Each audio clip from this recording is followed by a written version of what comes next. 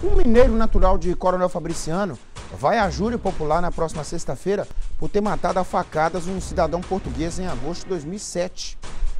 Como é que é, Jarão? Vai na segunda-feira, né? É, é. Ele será julgado pela Justiça do Espírito Santo, porque após cometer o crime, ele fugiu para o estado de Capixaba, onde acabou preso. Para falar mais sobre esse assunto, deixa eu chamar a Gisele Ferreira. Ô Gisele, é um, um um julgamento aí que envolve um crime complexo, né? Alguém que matou um cidadão de outro país. Você tem informação? Boa tarde para você. Boa tarde para você, Nico. Boa tarde, pessoal de casa. É um crime que aconteceu na cidade de Sintra, em Portugal.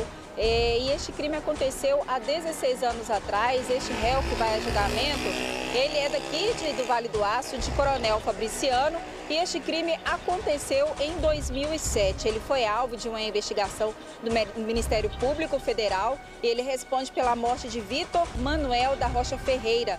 Ele, eles, eles se envolveram em uma discussão e o réu, de acordo com as investigações, desferiu golpes de facada na vítima, que morreu logo em seguida.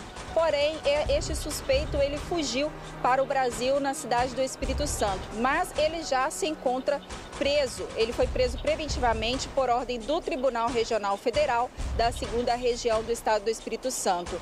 É, este, como eu falei, né, este julgamento ele ocorre 16 anos depois do crime, com várias idas e vindas no processo, justamente porque este crime aconteceu em Portugal, depois ele fugiu para o Brasil, mas ele será julgado na próxima segunda-feira no Brasil, no, na, na Justiça Federal em Vitória, a partir de 8 horas da manhã. Nico.